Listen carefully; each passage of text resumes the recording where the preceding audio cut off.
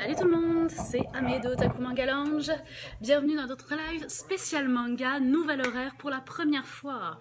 Alors, je vais juste ouvrir mon laptop pour avoir vos commentaires. Ce sera pas bien long. En attendant comme ça que vous mettiez en place, que vous connectiez. J'espère que vous allez être nombreux à cette nouvelle version du live euh, qui n'est plus quotidien. Donc, comme je disais, euh, nouvelle version à partir d'aujourd'hui. Bonjour, bonjour tout le monde. Donc, à partir d'aujourd'hui, on est en live euh, tous les mardis, tous les jeudis à 18h, puis tous les dimanches à midi. Alors, j'ouvre juste mon laptop pour voir vos commentaires comme d'habitude. Salut Alice, Charles, Mathieu, salut Lauriane, salut Gilbert. Ça me fait bien plaisir de vous voir. Euh, j'espère aussi qu'on va avoir des nouveaux participants. N'hésitez pas à dire aux gens que notre horaire a changé, donc même les gens qui travaillent peuvent, euh, peuvent euh, sauf ceux qui travaillent de soir, mais peuvent venir assister au live et poser toutes leurs questions. Alors aujourd'hui c'est un spécial manga historique. Euh, c'est une thématique qui me tenait vraiment à cœur, même si je sais que David vous avez déjà parlé des références historiques dans les mangas. C'était un petit peu plus... Euh, disons un petit peu plus euh, précis comme thématique. Tu, tu peux sortir, t'inquiète pas. c'est correct Hugo. on, a, des clients, c'est normal. Euh, donc c'est ça, David, vous avez parlé déjà des références historiques dans les mangas avec des références, des trucs super poussés. Je vais être un petit peu plus généraliste, parler des mangas historiques en général. Euh, je veux pas forcément parler de mangas de fantasy ou de mangas qui euh, sont des mangas de fiction, mais qui se passent dans un contexte réaliste ou dans un contexte historique. Je veux vraiment parler de mangas historiques. pourquoi ça? Tout simplement parce que euh, c'est une thématique qu'on voit énormément dans les mangas. Les Japonais sont férus d'histoire, ils aiment apprendre sur leur propre pays, mais ils aiment aussi beaucoup apprendre sur les autres pays, en particulier les, pays d'Europe, France, Italie, Allemagne. C'est des pays qui reviennent très très souvent dans les mangas historiques.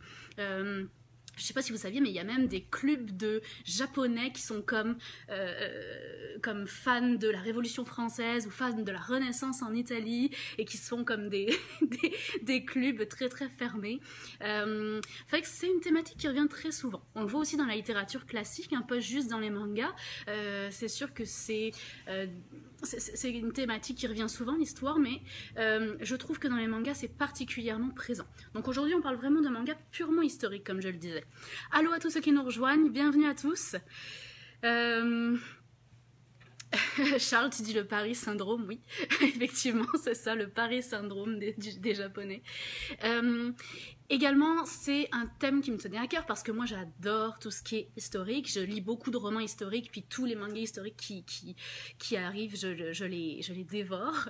Euh, et puis, euh, vous allez voir que euh, c'est une thématique où on retrouve vraiment des choses très très différentes. Alors j'ai des petites notes parce qu'il euh, y avait vraiment beaucoup de choses à dire. J'ai pris exemple sur David qui prend toujours plein de notes, puis moi à chaque fois j'arrive les mains vides, tout va bien. Que là j'ai pris exemple sur David, puis j'ai fait mes petites notes. que je vous ai regroupé ça par thématique. je vais vous les montrer, mais sachez que je les ai pas tous euh, en stock. Il y a des choses que je ne vais pas pouvoir vous montrer. Je vous les mettrai euh, en note sur, euh, sur la petite note que je vous mets à la fin du live, comme d'habitude, pour que vous puissiez les retrouver. Parce que malheureusement, j'avais pas tout en stock pour vous montrer. Vous allez voir que les thématiques abordées sont très différentes. La façon de les aborder sont très différentes aussi. Et puis les, les, styles de dessin et les styles d'auteur sont très différents aussi. Alors n'hésitez pas bien sûr à me poser vos questions. Euh, je suis aussi là pour, euh, pour répondre à toutes les questions, puis je vais continuer à passer vos commentaires comme d'habitude. Alors, euh, Lauriane, tu dis Reine d'Égypte, c'est mon manga préféré ever. C'est effectivement un très bon manga. Aujourd'hui, je suis pas allée dans les josei historiques, on en a déjà parlé plusieurs fois, parce que je voulais vraiment, comme je vous ai dit, explorer tout ce qui est purement historique et non pas de. Donc, je ne parlerai pas de, de Reine d'Égypte aujourd'hui, mais c'est effectivement un très bon manga. Guillaume, tu dis, ça serait cool que ce soit un peu plus tard. Ben, on a posé les questions à tout le monde pour savoir euh, qui, euh, qui souhaitait à quelle heure. On a eu des réponses pas toujours très très claires. Mais en tout cas, on espère que 18h ça va être suffisant pour vous. On mettra plus tard s'il y a besoin. On, a besoin de vos feedbacks hein, toujours. Donc merci Guillaume de nous, de nous partager ton avis. N'hésitez euh, pas à nous dire est-ce que le nouveau format vous convient, le nouvel horaire, etc. etc. Euh, Lauriane, tu demandes est-ce qu'on fait encore des livraisons pour ceux qui sont hors de Montréal? Oui, sans problème, Lauriane. On passe par Post Canada. Ça prend 48 heures à peu près. C'est vraiment facile. Tu peux passer sur la boutique en ligne ou nous appeler. Alors, on commence avec les recommandations manga euh, euh, historiques. J'ai pris que des mangas que j'aime. Vous allez voir qu'il y en a beaucoup. Alors, le premier thème qui revient très souvent, on revient sur le, Paris syndrome de, Charles, c'est les mangas sur la Révolution française, l'histoire de France, l'histoire d'Europe. Le premier manga dont je vais vous parler, c'est Innocent. Alors, attendez, j'ai plein de mangas, fait que je n'y retrouve plus. Il est où Innocent? Ah, il est pas là Pourquoi est-il pas là? Donne-moi un instant, je vais aller le chercher, je l'ai oublié.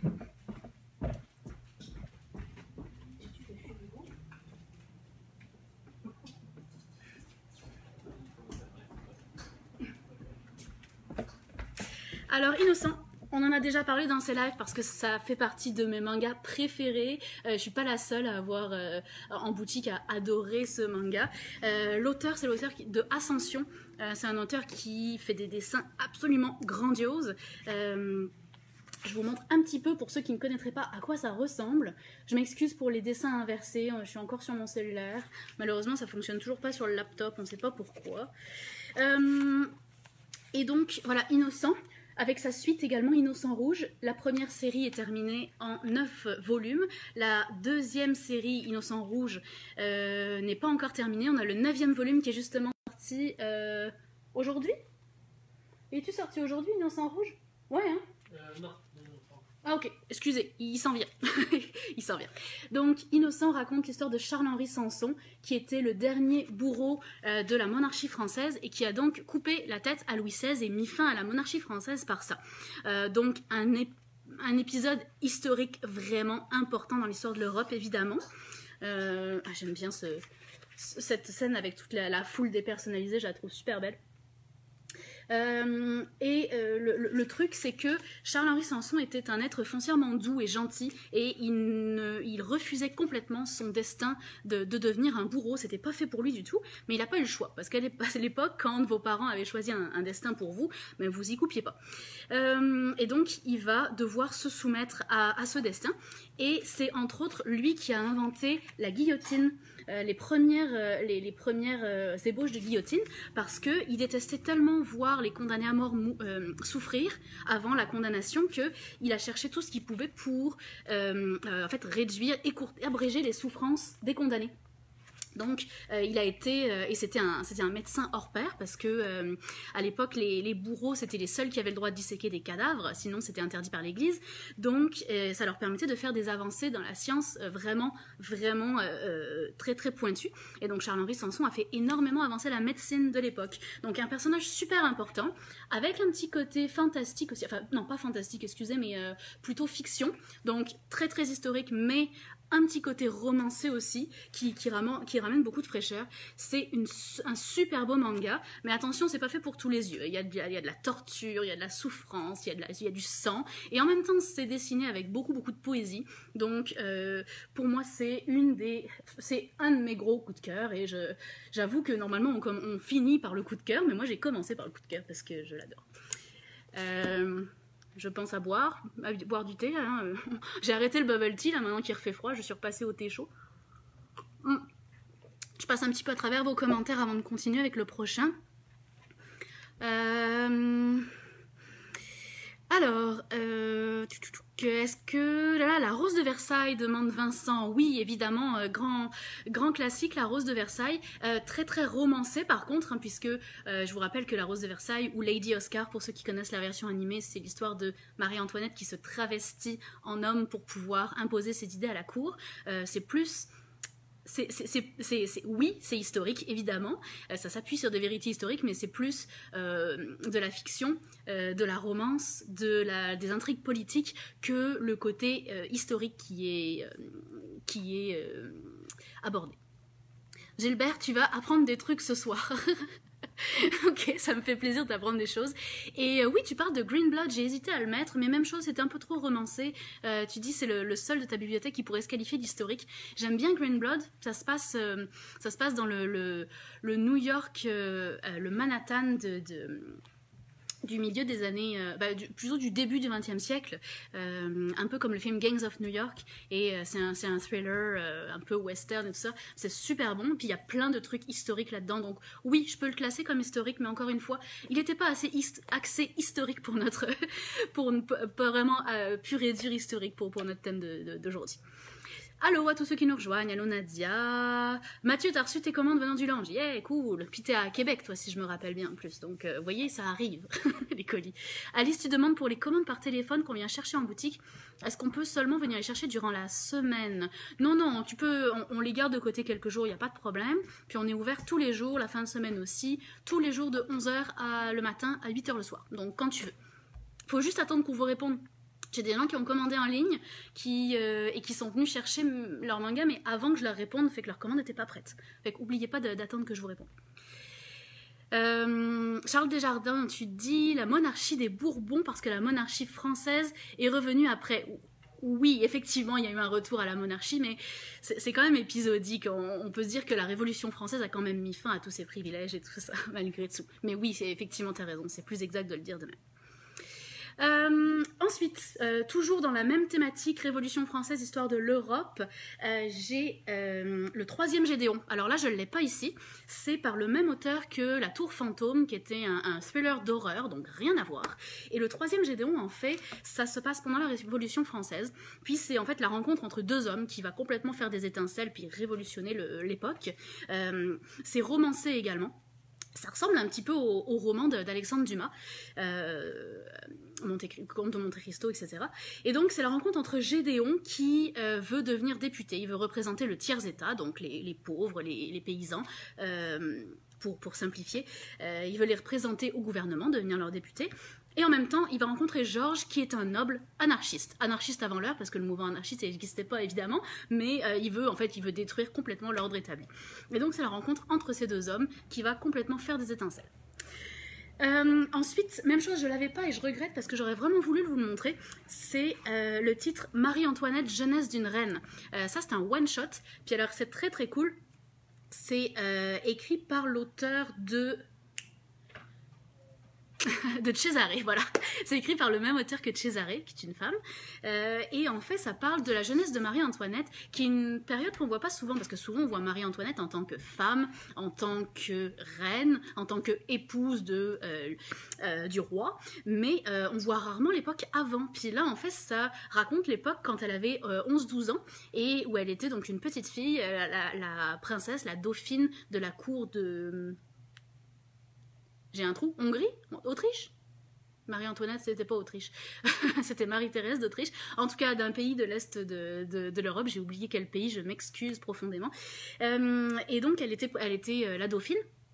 Et elle a été mariée à 12 ans au roi de France. Et donc, elle a dû, en fait, bah, en fait c'était pour faire une alliance entre les deux pays, une alliance forte. Et donc, elle a dû quitter sa famille, quitter sa mère, sa nourrice, ses frères et sœurs, pour aller vivre dans un pays qu'elle ne connaissait pas, avec un mari qu'elle n'avait jamais vu, euh, avec une langue qu'elle ne parlait pas, avec une culture complètement différente. Et donc, c'est tout le, récit de son voyage jusqu'à ce qu'elle rencontre son, futur mari. Euh, et puis c'est un petit one shot, fait que c'est super court, c'est super bien fait. C'est une auteure qui fait des mangas qui sont très très documentés. Donc vraiment intéressant, je regrette de ne pas vous, l'avoir, euh, vous le montrer aujourd'hui parce que je ne l'ai plus. Alain, tu dis on oublie si vite les anciennes administrations désastreuses. Effectivement. Merci Charles, Autriche-Hongrie. Merci. J'ai des trous de mémoire des fois. Et puis bah, justement, Cesare, le dernier que je vous présenterai dans, ce style-là, qui, parle plus de la Renaissance. Euh, Cesare, donc même auteur que Marie-Antoinette, où on suit en fait la famille Borgia. On suit un jeune homme qui, euh, qui va euh, arriver à Rome, non, excusez-moi, à Florence pour, pour étudier à l'université, donc les premières universités. il va étudier la philosophie, la poésie, donc il y a tout ce caractère-là qui ressort dans l'œuvre. C'est vraiment quelque chose de très très Et en fait, il va rencontrer Cesare Borgia, le, plus jeune fils. Euh, il va, il va devenir un petit peu son, ami et il va découvrir toute la famille Borgia. Et ce qui est intéressant, c'est que on voit la famille Borgia sous un autre angle que ce qu'on voit d'habitude à la télé ou dans les émissions. On, voit toujours, on les voit toujours comme des sanguinaires, des Machiavel en puissance. Puis là, on voit tout un autre aspect de la famille, fait que j'ai trouvé ça super intéressant. Donc Cesare, gros gros classique du, euh, du manga historique également.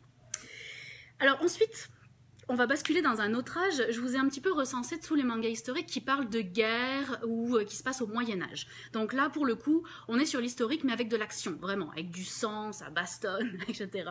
Euh, le premier, c'est euh, le premier, c'est le chef de Nobunaga.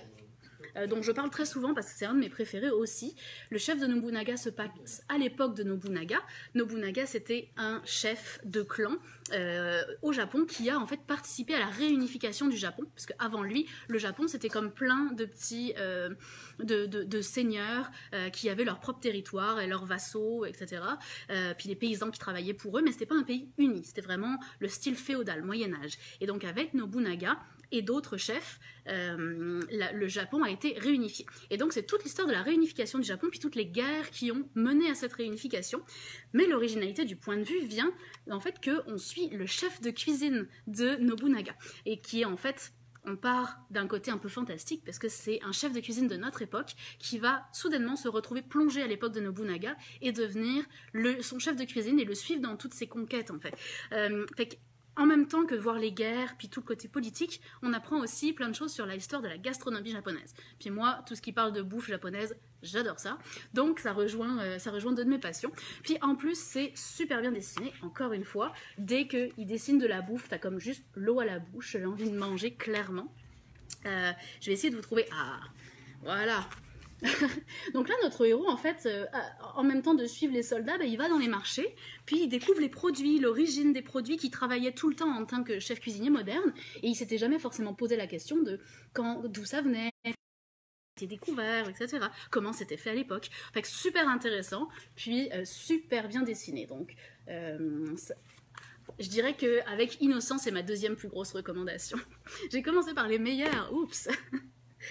Euh, j'ai ensuite, euh, ensuite Isaac. Alors Isaac, je ne l'ai pas ici. Euh, Isaac, c'est un, ça, parle en fait des, guerres entre les catholiques et les protestants. Ça se passe en Europe, particulièrement en Allemagne, pendant l'époque du Moyen Âge. Et puis c'est vraiment voilà, c'est vraiment guerre entre guerre de guerre de religion. donc quand même assez assez violent, assez sanglant, mais super bien documenté.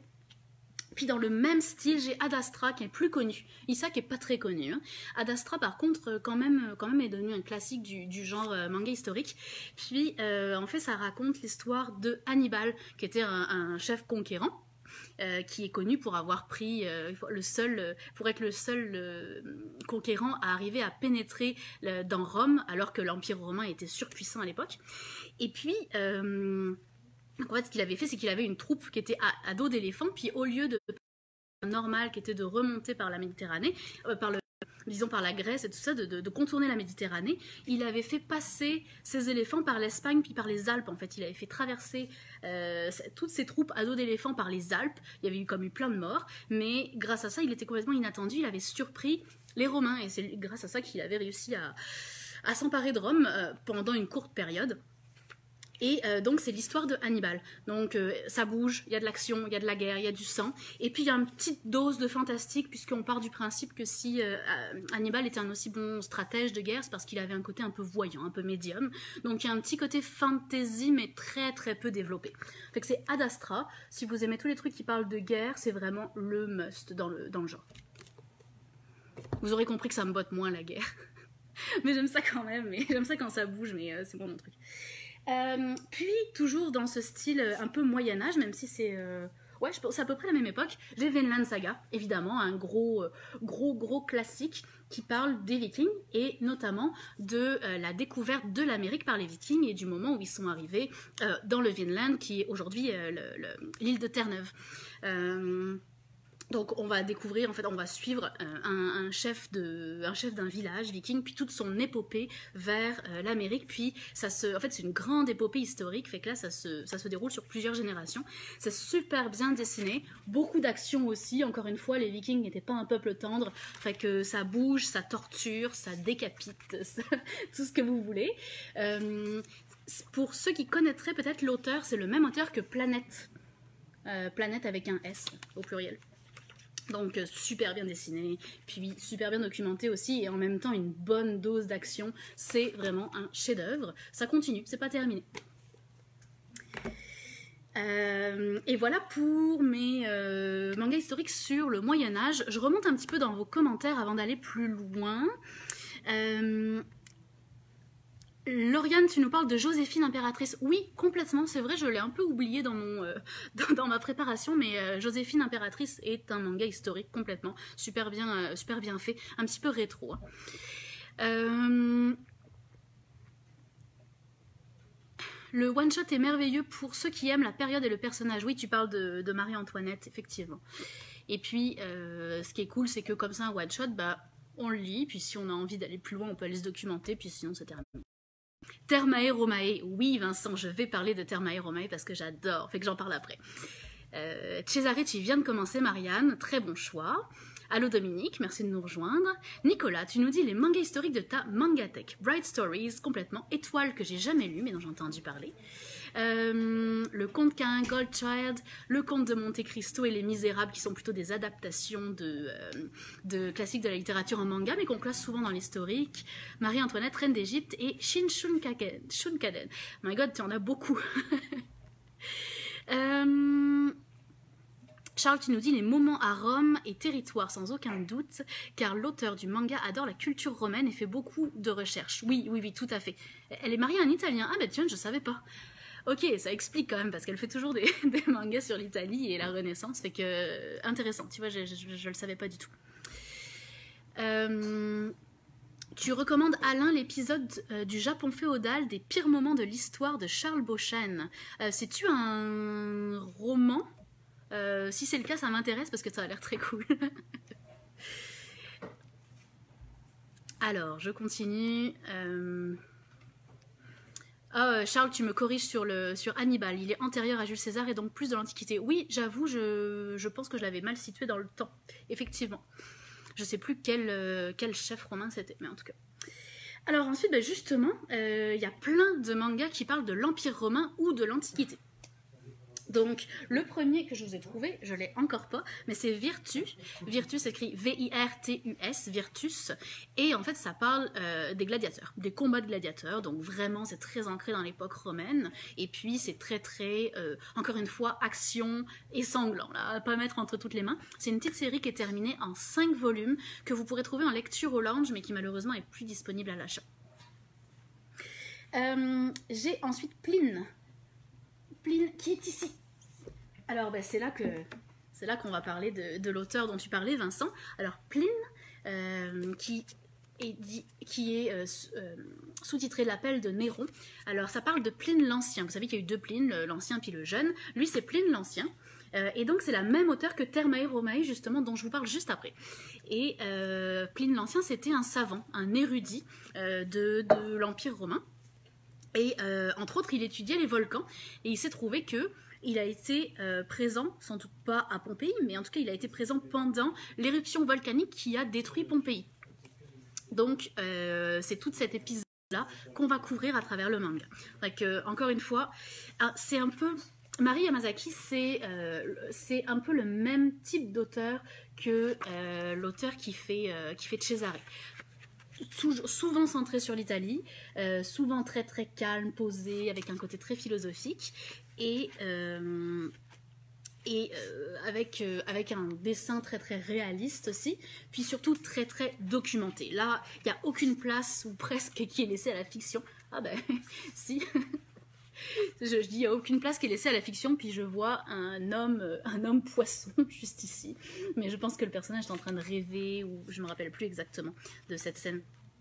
Mais en tout cas, comme vous voyez, c'est un, manga qui, est, a, un dessin beaucoup plus réaliste. Puis c'est le type de manga que je recommande souvent aux gens qui veulent débuter dans le manga et qui, ont, qui, ont un petit peu peur du style trop euh, dessin manga tel qu'on le connaît selon le, standard des clichés, le, shonen neketsu typique. Si on veut commencer euh, avec un dessin qui fait plus européen, on va dire, bande dessinée européenne, euh, c'est le, type de dessin que je recommande. Donc ça, c'est Pline.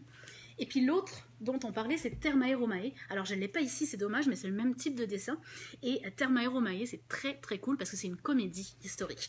Et en fait, c'est l'histoire d'un... Euh, d'un architecte euh, qui, euh, qui, vit dans l'Empire romain et il est spécialisé dans concevoir des bains, des, des termes romains. Et un jour, euh, il, se, fait passer une commande par un seigneur euh, pour un bain qui serait extrêmement moderne. Il veut moderniser vraiment euh, cet aspect du, bain public. Et donc, il lui passe cette commande. Et lui est un peu désespéré parce qu'il sait que s'il fait pas, il, fait pas sa commande comme il faut, il va peut-être se faire couper la tête ou, crucifier, whatever. fait que très très stressé. Puis là, il cherche, il cherche l'inspiration pendant des jours. Et un jour, il va ben justement dans un, dans un bain public pour essayer de, de, faire le vide dans son esprit, puis trouver l'inspiration. Puis là, il prend une grande inspiration, il met la tête sous l'eau pour faire le vide dans sa tête, ferme les yeux. Et quand il, quand il ressort de l'eau et qu'il reprend sa respiration et qu'il ouvre les yeux, il n'est plus au même endroit. Il a, il a changé d'endroit, puis il a changé d'époque aussi. En fait, il s'est transposé dans un bain public au Japon, mais à notre époque. Euh, et donc là, on fait vraiment le parallèle entre les bains publics, les termes romains, et les sento ou les onsen, les, bains publics japonais qu qui sont encore d'actualité aujourd'hui. Donc tout le parallèle va être fait. Et en fait, ce personnage va se rendre compte qu'il est capable comme il veut, de passer d'une époque à l'autre par les bains, en fait, par l'eau. Et donc, il va prendre des choses euh, qui sont euh, spécifiques aux, bains japonais pour les ramener à son époque et moderniser et faire ainsi les bains les plus modernes du, de, l'Empire romain. c'est super drôle, c'est vraiment super bien amené, on apprend plein de trucs, mais surtout c'est vraiment une comédie et on s'éclate. C'est vraiment pas un manga historique plate, vraiment pas. Donc ça c'est Thermae Romae. Euh, et puis pour terminer avec l'époque plus antique, même si on va quitter l'Empire romain. Ah, je l'ai pas pris, je vais aller le chercher, je pense que je l'ai quelque part.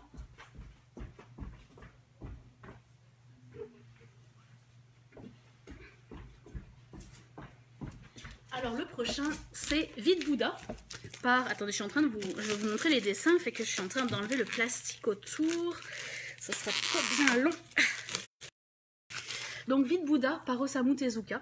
Donc Tezuka est plus connu pour euh, ses shonen du style Astro Boy, mais il faut savoir que dans une époque un peu plus récente, particulièrement dans les années 70, fin 60, début 70, il a fait beaucoup de seinen, et notamment du seinen historique. Donc Vide Bouddha reprend l'histoire du prince Siddhartha, qui est devenu le Bouddha selon la légende. Euh, donc ça reprend vraiment les légendes bouddhistes euh, à, l'identique. Donc c'est très très documenté aussi. On retrouve évidemment le style de Tezuka, hein, bien sûr, ce style euh, qui lui est si propre puis qui a tant influencé tous les mangakas de, de, des époques suivantes.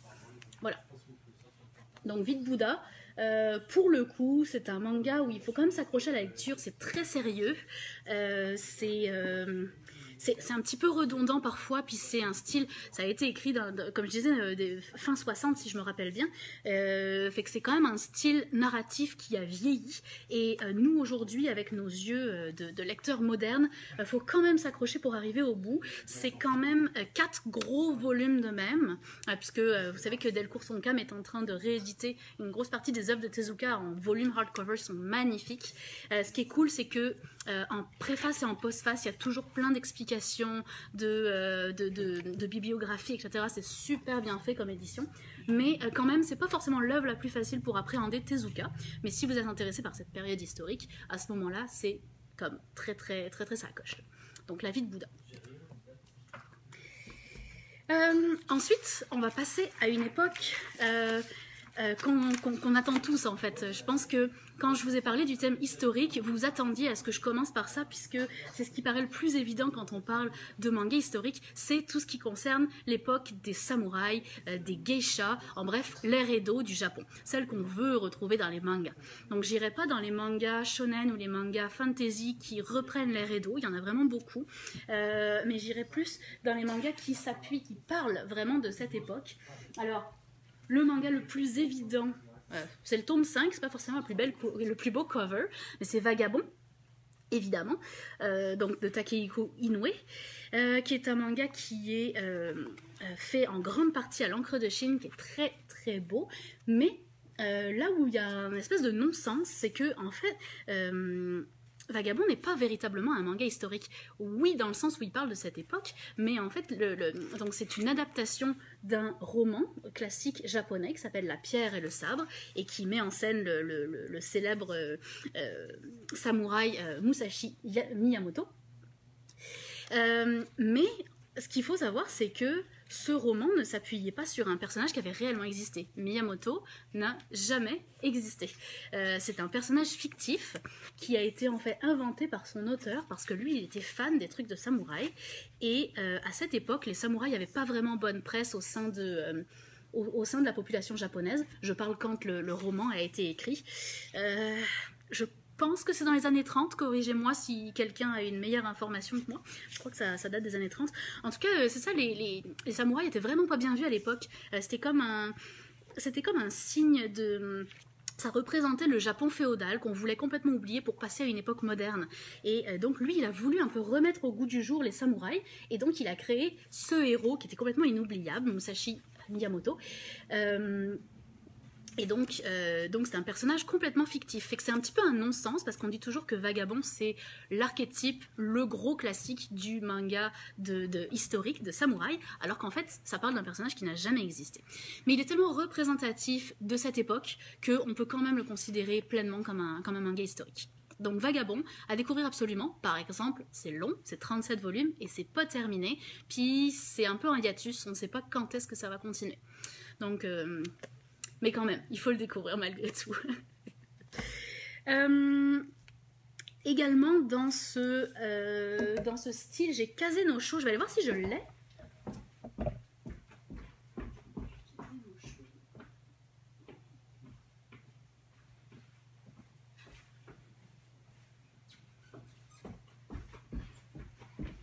Alors malheureusement je l'ai pas, mais euh, no Sho, donc ça se traduit en japonais par le livre du vent, c'est un manga de Jiro Taniguchi. Euh, qui est plus connu pour ses thèmes très euh, introspectifs, intimistes, très réalistes. C'est lui qui a fait Journal de mon père, qui a fait Quartier lointain, euh, qui a fait Le gourmet solitaire. Vous le connaissez certainement pour ces titres-là. À savoir qu'il a aussi exploité la thématique des samouraïs, donc dans ce livre Kazenosho. et en fait, ça, ça parle de guerre de clans. Euh, et de, l'apprentissage de l'art du sabre. Donc très très traditionnaliste, et puis avec le, trait de dessin de, de, Jiro Taniguchi qui est juste magnifique. Ça fait un bon moment que j'ai pas euh, que j'ai pas checké vos commentaires, fait que je vais quand même. Euh, je m'aperçois que je parle beaucoup dans ce live parce que, comme j'ai dit, c'est une thématique qui me tenait beaucoup à cœur. Mais il faut quand même pas que j'oublie vos commentaires. Annelise, tu as les mêmes favoris que Nicolas et tu ajoutes After School Charisma. Je crois savoir que Nicolas adore After School Charisma, fait que vous êtes pareil finalement. Euh,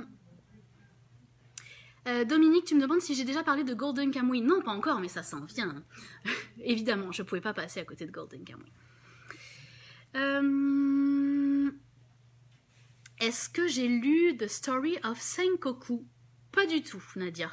Euh, non, évidemment, j'ai lu beaucoup de mangas, mais euh, pas celui-ci. Tu dis que c'est un contexte royaume médiéval fictif de style chinois. Ok, très cool. Est-ce que ça ressemble un petit peu à Kingdom ou ce genre de, manga-là Sinon, il y a aussi, euh, il y avait la légende du chasseur d'aigle, je crois, qui est peut-être similaire, mais non, je ne l'ai pas lu. Annelise, c'est quoi ton pouvoir X-Men? Je peux voyager d'un portail à l'autre, mais juste si c'est des pains publics. Mais oui, mais c'est ça qui est excellent. Je trouve ça, je trouve ça juste tellement génial. Euh, Charles, tu nous suggères la série de mangas d'édition Soleil qui parle de personnages historiques. Oui, effectivement, qui vont parler de Charles Darwin, de, euh, de Einstein, euh, de Descartes. Oui, effectivement, c'est souvent des ça, s'appuie souvent sur des œuvres qui ont été, des œuvres philosophiques qui ont été sorties par ces grands personnages clairement. J'avoue que c'est, j'avais beaucoup de choses à dire, puis c'est une des parties que j'ai pas que j'aborderai pas forcément aujourd'hui, mais tout ce qui est euh, classique de la littérature ou philosophie euh, est très très bien fait par les éditions Soleil. J'ai d'autres éditeurs aussi qui se mettent là-dedans. Hein. En ce moment, il y a Kurokawa qui en fait beaucoup. Euh, il y a Nobi Nobi qui fait une version plus enfantine, qui est vraiment intéressante. Vincent, l'histoire des trois Adolphes, je vais en parler évidemment. J'ai toute une section sur la Seconde Guerre mondiale parce que c'est inévitable. tu m'ôtes les mots de la bouche. Les trois Adolphes que tu as parlé, c'est historique Non, oui, c'est historique. Euh, pas de lien avec Tom Cruise, mais de quoi parles-tu? Alain, je, suis désolée, j'ai pas suivi, j'ai pas suivi votre délire.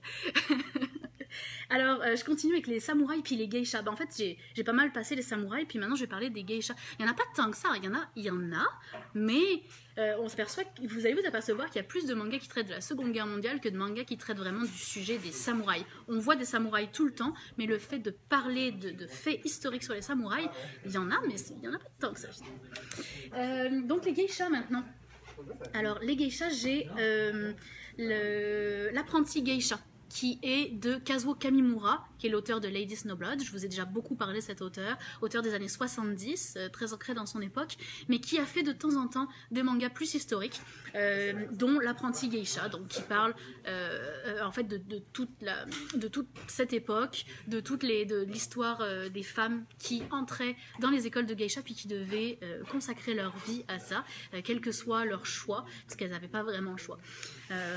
puis Kazuo Kamimura est un auteur qui prend toujours comme, comme héroïne des femmes très fortes, hein, un peu comme dans Lady Snowblood, euh, qui vont avoir une vie chamboulée complètement par leur destin, mais qui vont faire face. Et donc dans l'apprenti geisha, on retrouve ce genre d'héroïne. Et puis sinon, je l'ai pas non plus malheureusement, mais j'ai le dernier envol du papillon. Euh, super beau manga, très très euh, très très bien dessiné dans un style assez réaliste, qui parle, qui se passe à Nagasaki et qui parle donc du Nagasaki traditionnel du milieu des geishas. Et puis c'est plus informatif que euh, l'apprenti geisha de Kamimura qui va être plus où on suit vraiment une héroïne, on s'attache à l'héroïne. Dans le dernier envol du papillon, on a plus ce côté très historique, très informatique. Euh, informatique, informatif. et puis encore une fois, on retrouve un peu le style Alexandre Zuma hein, dans la narration. Alors ensuite, on va quitter le Japon un petit peu, puis on va parler d'histoire chinoise. Euh... Ok, vous faites une conversation en privé. Allez-y, y a pas de problème, on est là pour ça. C'est aussi pour vous donner un espace pour discuter entre vous qu'on est là, hein, fait qu'hésitez pas, y a pas de problème. Euh, mais si vous avez des questions, euh, encore une fois, n'hésitez pas, je m'interromps. Euh, donc, on abandonne un petit peu le Japon, puis on parle de la Chine, parce que le Japon va parler d'histoire chinoise également, mais il y a aussi des manhwa, donc des mangas chinois qui parlent de leur propre histoire. Puis aujourd'hui, j'ai en fait j'ai deux mangas puis deux manhwa dont je vais vous parler. Alors les deux mangas, c'est que j'adore, Journal d'une vie tranquille par Tetsuya Chiba. Vous, le nom de l'auteur vous dit peut-être rien, et pourtant c'est un monument au Japon, parce que c'est l'auteur de Ashtanojo. Donc c'est un auteur qui écrit des mangas depuis les années 60, qui a révolutionné le manga de sport avec Ashtanojo. Et puis dans Journal d'une vie tranquille, il raconte son histoire. Et alors, il alterne entre les périodes de son enfance puis la période moderne, aujourd'hui qu'il a euh, sans doute pas loin de 90 ans, et qui continue à dessiner peut-être pas 90, peut-être 80, mais en tout cas, il est quand même, euh, quand même âgé, le monsieur. Puis, euh, en fait, pourquoi, je, pourquoi ça parle d'histoire de la Chine? C'est parce que lui, en fait, euh, à un moment donné, le Japon a, occupé la, Chine d'une certaine manière. en tout cas, une partie, ils ont essayé d'envahir la Chine, ça n'a pas toujours été un succès. mais ils ont aussi essayé de, de, pénétrer la Chine par le côté économique. Et donc, il y a plein de Japonais qui étaient des entrepreneurs qui sont allés s'installer en Chine pour faire des affaires. Et le père de Tetsuya Chiba en faisait partie. Donc, lui, il a grandi en Chine. Euh, il a passé toute une période de sa vie, jusqu'à une dizaine d'années, 10-12 ans, en Chine.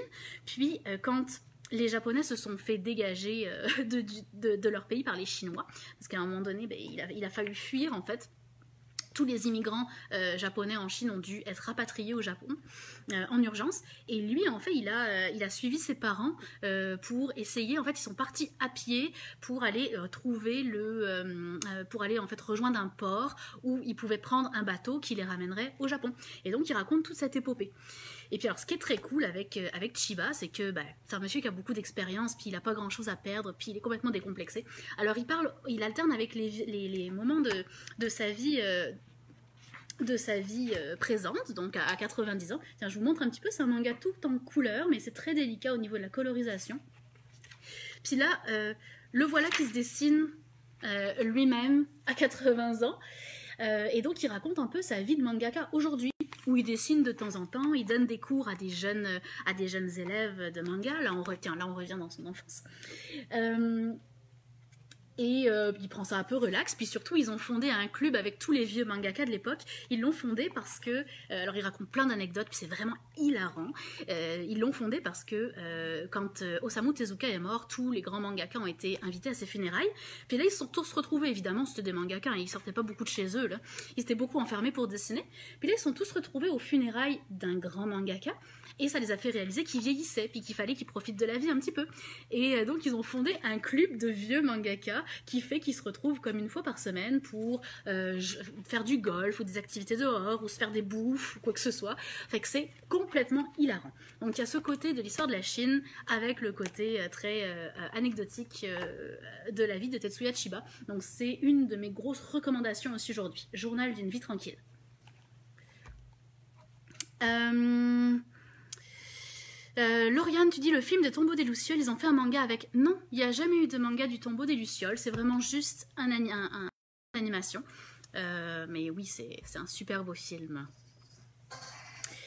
Euh, à propos de la déportation des Japonais de la Chine, non, en fait c'est ça, c'est qu'ils se sont fait, ils sont pas un peu poutre à la porte parce que ils étaient vus comme des envahisseurs, des conquérants, euh, et même si les gens qui faisaient des affaires là-bas étaient juste des immigrants comme comme d'autres, euh, les, Chinois à un moment donné se sont révoltés puis ils les ont foutus dehors parce qu'ils considéraient qu'ils avaient rien à euh, un autre manga euh, qui parle bah, justement de, cette occupation du Japon par la Chine, c'est Un pont sous les étoiles. Euh, qui est euh, un manga qui peut s'adresser aussi aux enfants et qui raconte l'histoire d'une petite fille qui suit ses parents qui eux aussi vont s'installer dans, dans une ville en Chine pour y faire des affaires. Et puis elle, ça se passe un petit peu mieux que pour Chiba. On voit pas... salut euh, on, voit en fait euh, toute, sa vie, euh, son adaptation, de, passer, de, changer de culture, de se faire des nouveaux amis, comment est-ce qu'elle va être perçue par les autres enfants, par les enfants chinois. C'est un super beau manga aussi. Puis sinon, dans les manhwas, c'est pareil, je les ai pas, je peux pas tout avoir en stock, je suis désolée, mais j'ai La Danseuse de Mao, un super beau manoir des éditions Fay qui est tout en couleur et qui en fait euh, c'est une intrigue policière, journalistique, politique euh, dans le monde de Mao. En fait, ben, en fait euh, après la période Mao, on suit une, journaliste qui va se rendre compte que sa mère était très très proche de Mao. Elle l'a connu sous certains angles et donc euh, c'est pour ça qu'elle a, elle, a été assassinée à cause de, ce qu'elle connaissait de Mao. Euh, et donc elle va un petit peu rechercher la vérité sur le meurtre de sa mère et ce faisant, elle va découvrir plein de vérités cachées sur le, sur le régime de Mao. Et puis j'ai une vie chinoise qui fait partie de mes coups de cœur également. J'ai beaucoup de coups de cœur aujourd'hui. Une vie chinoise. Euh, qui est en fait une autobiographie d'un euh, dessinateur, d'un bédéiste qui a grandi en Chine sous le régime de Mao pendant la Révolution. Et euh, à travers sa propre vie, il raconte en fait toute l'histoire de la Chine de cette époque, avec plein d'anecdotes de la vie de tous les jours. que on entend souvent parler du régime, on entend parler de l'oppression, on entend parler euh, de tous les côtés politiques ou économiques qui a suivi, mais à l'intérieur, comment est-ce que les gens l'ont vraiment vécu euh, C'est ça qu'on va découvrir avec lui. c'est super intéressant.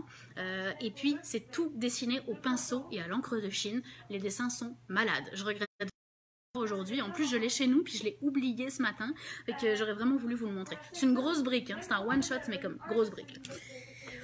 Donc voilà un petit peu pour l'histoire de la Chine. Je vais continuer avec le Japon du début du XXe siècle. Euh, Japon du début du XXe siècle, on a pas mal d'œuvres. Alors on a, elle s'appelait Tomoji, qui est aussi de Jiro Taniguchi, comme Kazenosho dont je vous ai parlé tantôt, et qui raconte un peu la vie à la campagne dans les années 30 au Japon. Donc encore un, sujet qui est très très peu, euh, qui est très très peu exploité. On suit une jeune de son enfance jusqu'à euh, sa vieillesse et toutes les, toutes les choses qu'elle va connaître euh, dans sa vie de, de, femme du Japon des années 30. Donc super intéressant. Mathieu, tu dis pétale de réincarnation. oui, alors c'est sûr, comme je disais au début, je voulais pas vraiment parler de, de fantasy, mais pétale de réincarnation, en fait, on suit des, des, gens qui se réincarnent dans des personnages historiques, notamment Excuse-moi, peux-tu juste parler un tout petit peu moins fort, s'il te plaît? Merci beaucoup. Désolée tout le monde. Euh, donc c'est ça, Pétale de réincarnation, c'est des gens qui se réincarnent dans des personnages historiques. Donc oui, il y a le côté historique, mais c'est pas un manga historique techniquement. Euh, Lauriane, tu demandes shot de Marie-Antoinette est le même genre de dessin que la Rose de Versailles. Euh, pas vraiment, c'est plus un peu moins manga style, puis surtout c'est beaucoup plus moderne, alors que La Rose de Versailles ça date des années 70, donc pas vraiment le même type de dessin. Euh, ensuite on a Empereur du Japon qui est sorti récemment, le deuxième volume vient Empereur du Japon parle euh, de Hirohito qui était l'empereur qui euh, était le chef d'État au Japon pendant les années 20. donc c'est toute sa vie, c'est dessiné superbement.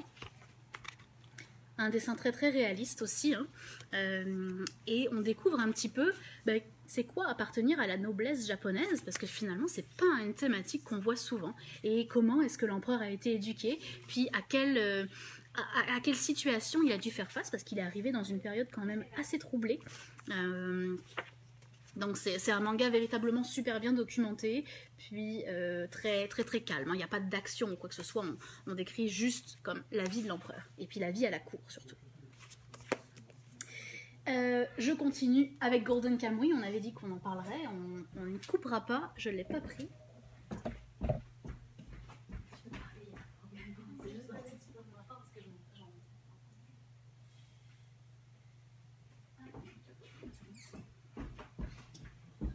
Ben, je ne vous montrerai pas Golden Kamuy parce que euh, j'ai quelqu'un qui m'a acheté toute la série, donc je l'ai pu.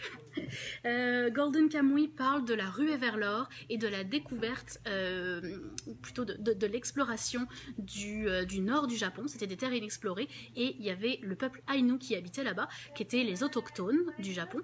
et donc on parle de toute cette période-là. Donc on suit un soldat qui va se lancer dans cette ruée vers l'or et donc il y a beaucoup d'actions beaucoup de, découvertes de la vie des autochtones euh, du Japon. Aussi, euh, bah, c'est un peuple qui a été extrêmement persécuté, qui l'est encore aujourd'hui malheureusement. Euh, et donc on, découvre tout ça, mais avec une bonne dose d'action. super intéressant aussi. Puis la lanterne de Nyx, pour finir, avec cette époque dont je vous ai parlé récemment.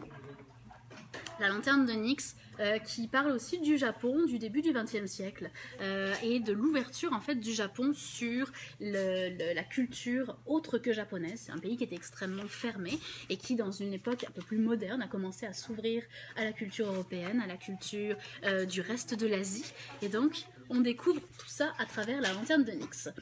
C'est le même auteur que le dernier envol du papillon dont je vous ai parlé tantôt. Bye. Merci. Alors euh, j'en ai beaucoup trop dit, il est déjà super tard, fait je vais essayer de boucler ça en pas trop long. J'ai fait, fait mon David là pour le coup. Euh, Seconde Guerre mondiale. Beaucoup, beaucoup de mangas qui parlent de la Seconde Guerre mondiale, à commencer par Gen Hiroshima, qui est un manga des années 60 et euh, qui est un de mes préférés également, écrit par Keiji Nagasawa qui est euh, un monument des auteurs euh, japonais et qui parle en fait de l'explosion de la bombe à Hiroshima, puis surtout de ce que les gens qui ont dû fuir Hiroshima après l'explosion de la bombe, de ce qu'ils ont traversé. Et euh, c'est un manga qui a été écrit par Nagasawa, qui était quelqu'un qui a vécu pour vrai cette époque-là. Donc le personnage principal est un petit peu, lui, fait petit garçon c'est quand même autobiographique, et euh, donc il raconte vraiment son expérience de jeunesse, et il a voulu faire un manga qui dégoûterait les gens de la guerre, et je vous avoue que c'est assez horrible, donc ça réussit très très bien dans le genre. Donc Genji Hiroshima. Euh, j'ai également Opération Mort puis Peleliu, qui sont deux mangas qui parlent un peu du même thème. Opération Mort, c'est par Shigeru Mizuki, l'auteur de, euh, de Kitaro. Et euh, en fait, Peleliu, Guernica of Paradise parle un petit peu de la même, de la même chose. C'était une mission en fait qui devait durer 4 jours, puis qui finalement s'est étendue sur 2 mois, où euh, des, euh, les soldats japonais ont vraiment été coincés sur une île, puis il manquait de tout, il fallait juste les rapatrier, et ils n'étaient pas capables de... en fait, ils n'étaient pas capables d'arriver à la victoire. Euh, et donc ça a un petit peu tourné au massacre. Et puis Opération Mort et Peleliu à la fois sont deux mangas qui sont euh, assez ironiques sur cette période. Ce qu'il faut savoir avec Shigeru Mizuki, j'ai une petite anecdote pour vous, c'est que Shigeru Mizuki est devenu gaucher mais pas par choix, par force. Il était droitier, il était, euh, il était mangaka, il est parti à la guerre, il a été mobilisé comme tous les japonais de l'époque, et pendant un bombardement, il a été blessé, il a perdu son bras droit, il a dû être amputé. et donc, ben, s'il voulait dessiner, il fallait qu'il se mette à devenir gaucher. Donc, il est devenu, il s'est entraîné pour devenir gaucher. Donc, euh, super petite anecdote. Puis lui, il a, il a, je, crois qu'il a été, euh, qu'il a participé à cette opération. Donc euh, il le raconte avec beaucoup d'ironie. Puis Peleliu, euh, même chose, beaucoup d'ironie. On parle de euh, tout ce côté où il fallait que les Japonais se conduisent comme des héros, qu'ils vivent ou qu'ils meurent, et qu'on les obligeait à écrire un peu n'importe quoi à leur famille pour faire croire que tout était beau et que c'était génial de servir la patrie. voilà. J'ai également La fillette au drapeau blanc, euh, qui parle de la Deuxième Guerre mondiale, qui est un petit one-shot sur une histoire vraie d'une petite fille qui a traversé toute une île, toute seule, alors qu'elle avait, parce qu'elle avait perdu sa famille, elle les avait perdus de vue, ils n'étaient pas, pas morts, une partie oui, mais pas le reste, mais elle les euh, et ils s'étaient, juste séparés. Et donc elle a traversé toute une île, toute l'île, euh, armée d'un drapeau blanc pour signaler qu'elle était inoffensive, et pour finalement se faire récupérer par l'armée américaine. Donc une super belle histoire, très très émouvante. J'ai également l'histoire des trois Adolphes, que j'ai pas ici aujourd'hui, mais qui est de Tezuka, euh, et qui, euh, qui, est une fiction qui euh, vise à dénoncer le rôle du Japon dans la Seconde Guerre mondiale. Zéro pour l'éternité, ici, qui est un manga qui parle de l'aviation japonaise pendant la Seconde Guerre mondiale. Et dans le même style, vous avez Dipang, qui est une longue, longue euh, épopée historique qui parle au contraire de la marine japonaise, euh, donc toute la guerre du Pacifique euh, entre le Japon et les États-Unis pendant la Seconde Guerre mondiale. Côté civil et les ravages que la Seconde Guerre mondiale a fait sur le Japon, vous allez retrouver Rainbow, euh, qui est par le même auteur que Green Blood, justement, dont on parlait tantôt. Et Rainbow, en fait, raconte l'histoire de sept jeunes garçons qui vont être emprisonnés dans une prison juvénile pour, euh, pour, pour des délits bénins. Là, ils ont volé de la nourriture ou whatever. Euh, et donc, c'est toute leur vie dans la, dans la prison, puis après la prison, et tout le contexte socio-culturel de cette époque, tous les ravages que euh, l'occupation américaine a fait sur l'économie et sur la vie des Japonais. Donc c'est super intéressant. C'est quand même aussi assez euh, intense. Là, c'est vraiment un CNN avec de l'action puis tout.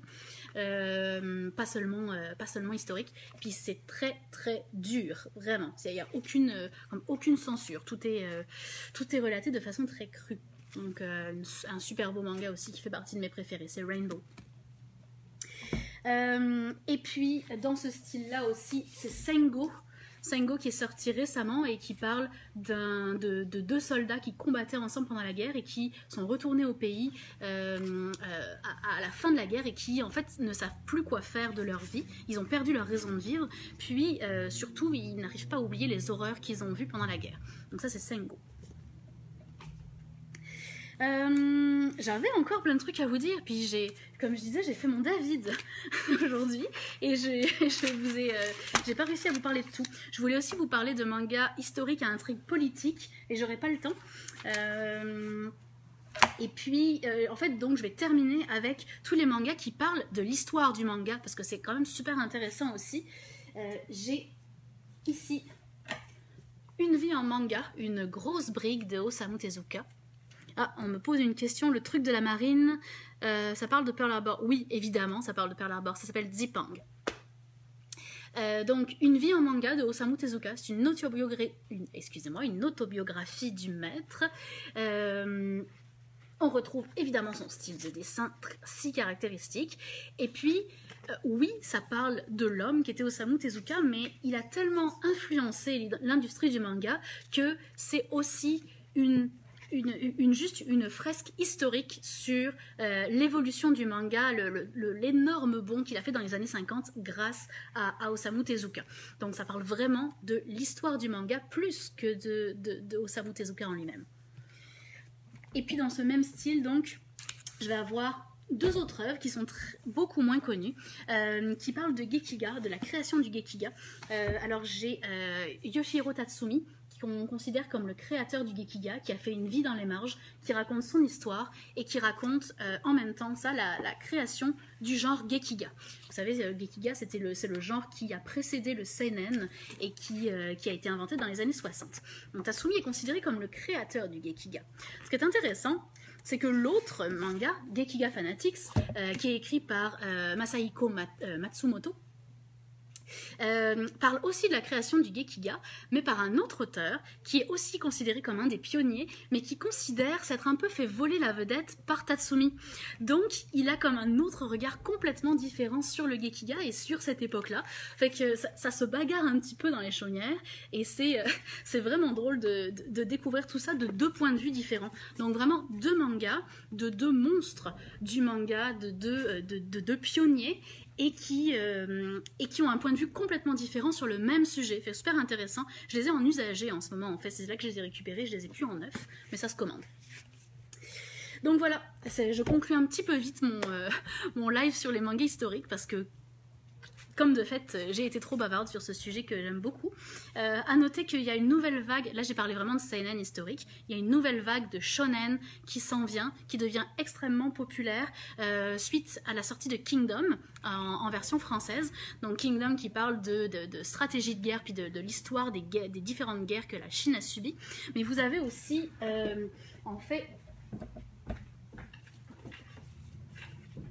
la même maison d'édition que, Kingdom, Meian, est en train en fait de, surfer un petit peu sur cette vague de manga historique, puis a sorti d'autres shonen de, guerre. Donc vous avez Balzar, euh, qui se passe euh, au, pas au Japon, mais dans un, dans un pays euh, fictif, on va dire.